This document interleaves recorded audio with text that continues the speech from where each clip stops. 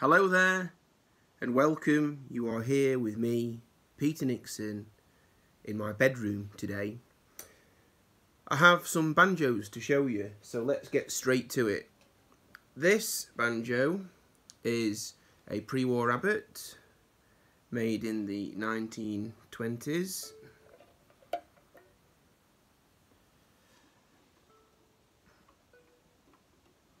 Made by Abbott Senior. I've got a maple bridge on this and these are monopole basically fishing line strings.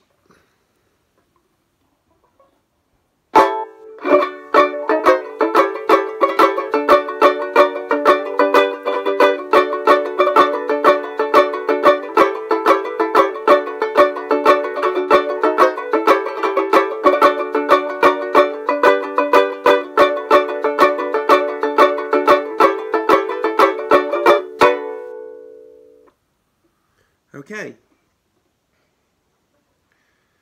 This is banjo number two, which I've bought recently. This is an Abbott Junior, made in 1974. And I really like this ukulele. The sound is very good. The strings that are on it were the ones that were on it when it came I'm left-handed. I haven't even bothered swapping the strings round. I tuned it up. I did swap the bridge. I tuned it up and played it. I thought, yep, that sounds great. And I left it as it is. So I think at the moment this is perhaps the best sounding banjo uke that I've got. Obviously that's very subjective. I'll give it a play for you. See what you think.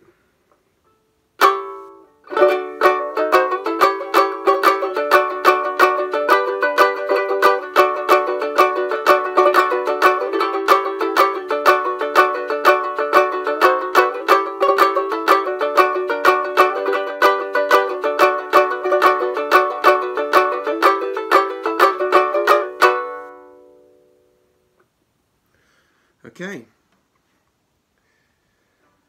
And we've had the Father and the Son. So this must surely be the Holy Ghost. it isn't. This is a Phil Cartwright banjo ukulele.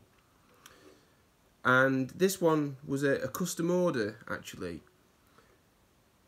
I wanted a bottom tension Abbott Junior and I couldn't get hold of one, so I asked Phil if he would make one for me.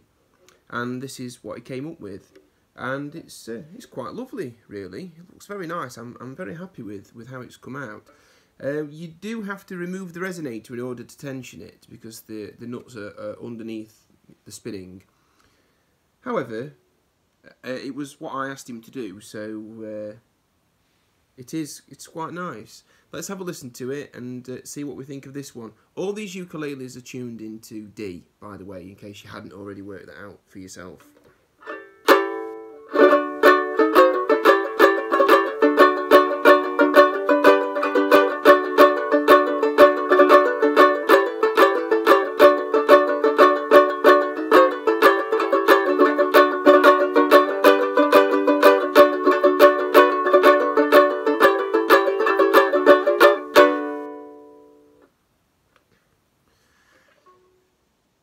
One uh, thing about this ukulele is that the spinning is a bit deeper apparently than the ones that Phil normally uses. So this ukulele is quite deep. It's kind of more similar to a Gibson, big Gibson, but obviously the pot is metal, not wood.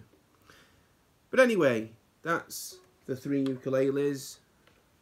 I thought you may like to listen. I did have a request to play the Abbott Junior, so I hope you enjoyed that, and I'll be back again very soon.